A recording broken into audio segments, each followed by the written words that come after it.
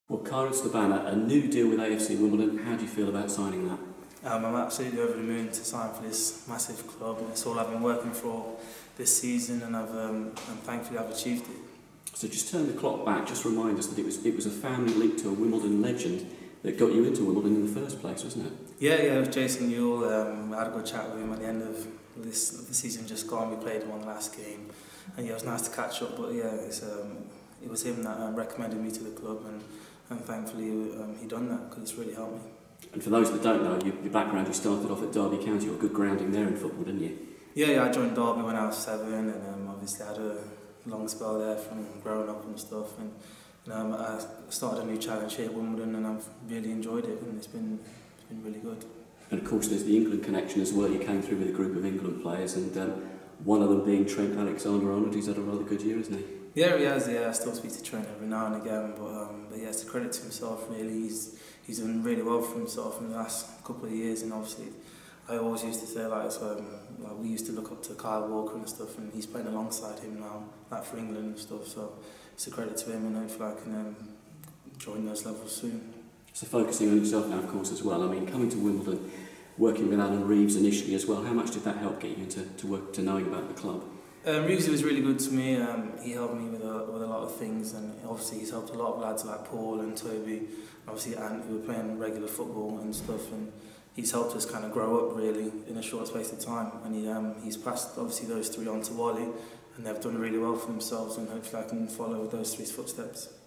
Yeah, because you initially came here under a different manager. Wally Downs has come in now. How have you found that?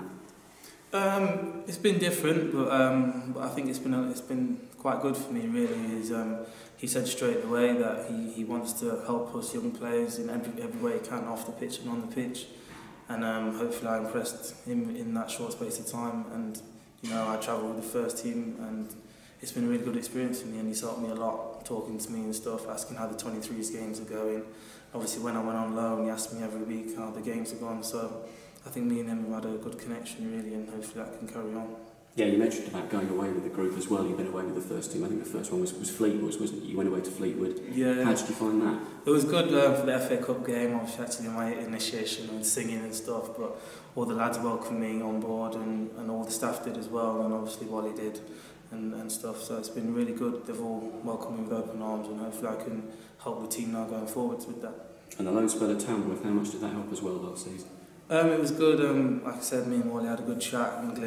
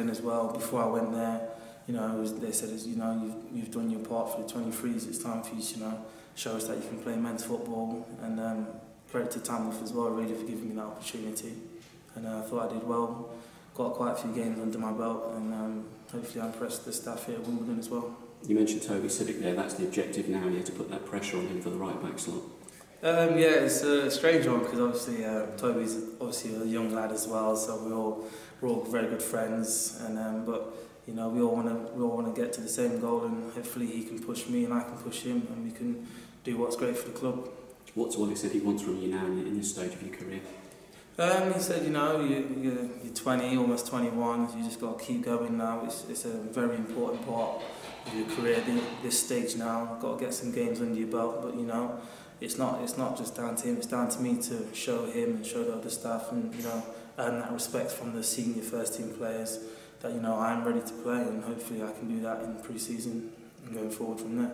What have you made of the club now in terms of its survival? I mean, the, the supporters getting behind it, what the side achieved on that last day for Bradford.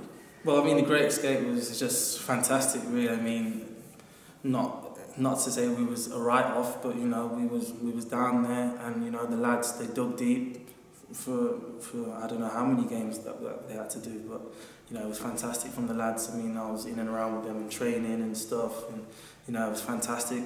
The attitude was immense. Really, it was almost like you know like was fighting for the league title. I mean, the attitude from everyone, staff, players, everyone really you know got together and it kind of came as a collective really. And I was at home for the for that Bradford game, but I was on my phone checking every five seconds really, and, you know.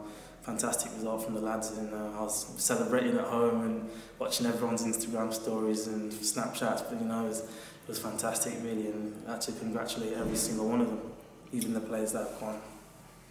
And you've been around that group as you said you've been in the training sessions you've even been through the initiations as well how have you found all of that? Uh, it's been good, you know. Obviously, uh, a few people might have uh, seen me sliding through some some wood, but you know, it was a good day. You know, you got to do those things as a footballer, and especially as a young player. You know, it comes with the game. Really, you got to earn respect from a lot of senior players that have played at a good level at this club.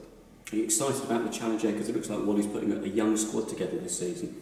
Yeah, it's going to be a good challenge. Really, we've got some really good pre-season games coming up. A uh, trip to Germany as well. Everyone's excited for that, and like I said, it's putting together a young squad, but you know, as a young squad, we need to show that we're that we're that we're men as well, and hope, and the lads have obviously done that that have played last season, and so hopefully now for me to join those lads.